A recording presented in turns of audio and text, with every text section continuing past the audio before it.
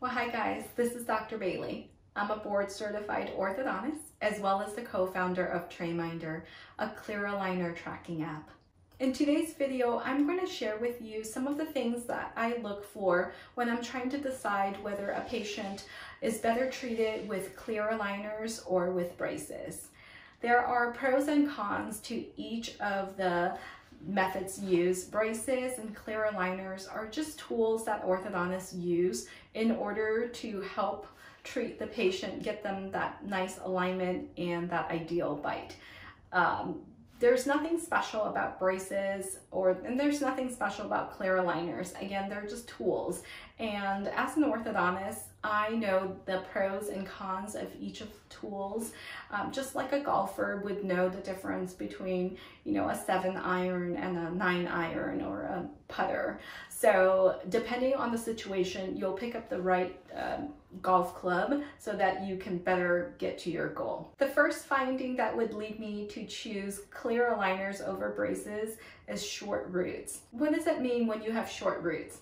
Basically, a tooth has a part that you can see, that's called a crown, and a part that you cannot see, which is buried under the bone, that's called a root. So it's kind of, your tooth is like a tree. It's the There's the part that sticks up above the ground and then the root system below the ground. Short roots basically just means that the part of the tooth that is below the bone level is short. Ideally, teeth should have long roots. It's akin to having a tree. Um, the longer the root structure, the more sturdy it's going to be when there are hurricanes and high winds and, and such. And so the only way that you would know that you have short roots is if your orthodontist takes x-rays. Usually an orthodontist will take a panoramic x-ray, which is an overview of all of the teeth in your mouth. And it allows, the panoramic x-ray allows the orthodontist to see if you have wisdom teeth that are impacted. It allows your orthodontist to know whether you have any missing teeth, etc., etc. Um, but probably the best way to evaluate root length is via PAs, periapicals, that the dentist, the general dentist usually take. I like to treat orthodontic patients with short roots with clear aligners because I have more control over the treatment. So if you have short roots on your two front teeth and they are more or less in line already, I can ask the software program to not move your teeth and focus instead on the other teeth that need more orthodontic movement. By decreasing the amount of movement or forces on those shorter roots, it decreases the possibility of them getting shorter. So that is a definite advantage of clear aligner therapy because of the control that I can have. With braces, all of the teeth are chained together and so when you are moving a tooth on the side here, it can affect the teeth that are adjacent to it or a few teeth adjacent to it because they're all tied together. Because one, you know, like Newton's third law says, every force has an equal and opposite force. So that is why if I see short roots, I tend to lean more towards clear aligner therapy uh, than braces. Another finding that would lead me to choose clear aligner therapy over braces is if patients have spacing. Now, when you have spaces between your teeth, it when you close the teeth together, sometimes the gum the gum between them can bunch. So imagine that you have two teeth here and this is the gum tissue. As you bring two teeth together, there's bunching of the gum tissue between the teeth and combine that with gingivitis if, if the gums swell because of plaque that is left on the teeth, then it makes the process of closing spaces or closing gaps all the harder. So in general, patients' uh, gingival health or, or gum health is better with clear aligners because patients in clear aligners can remove their aligners to allow them to floss and brush much easier uh, than braces patients. Braces patients have wires and braces that they can't remove. So the process of cleaning and flossing is a lot more tedious. So in general already, clear aligner patients have better oral hygiene in general uh, because of the ease of cleaning and combine that with uh, spacing, it's clear aligners is just easier to close spaces in, in my experience. Open bite is another orthodontic finding that would lead me to choose clear aligners over braces. Open bite just basically means that when you bite down, your front teeth don't overlap. They should, you know, normally in an overbite, you should have about a 15% overbite where your top incisors, they fit over your bottom incisors, much like a lid over a box. So people with open bites, when they close down, their teeth, they don't overlap. And so it's very difficult for them to bite into a sandwich with their front teeth because of that lack of uh, overbite.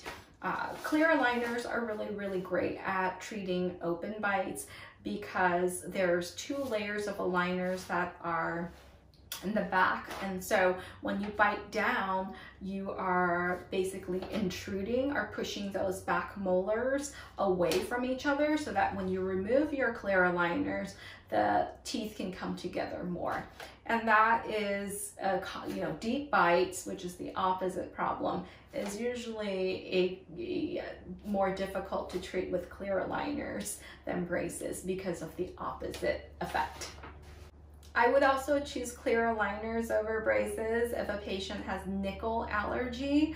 Nickel allergy, uh, braces usually have some nickel content. How do you know if you have nickel allergy?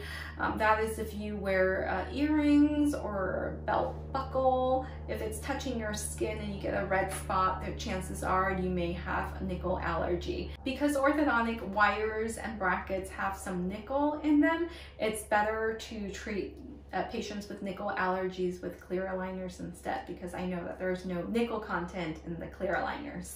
Finally, if you have a good bite, but you have some crowding or spacing issues on your front teeth, I would probably choose clear aligners over braces.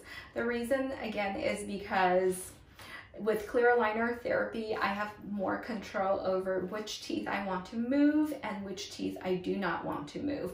And if your teeth are already in good position, then I really don't want to move them. I want to concentrate my efforts on moving those front teeth where they are crowded or there are where they are spaced and thereby this will decrease the amount of time that you are in treatment.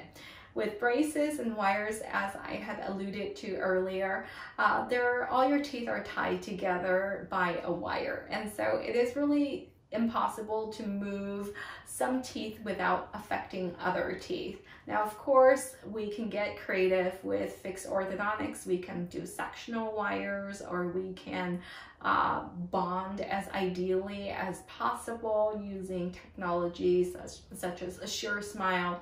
But I won't get into those details, but generally in most cases, it's easier to treatment plan with clear aligner therapy because you can actually tell the software to not move certain teeth and only move other teeth.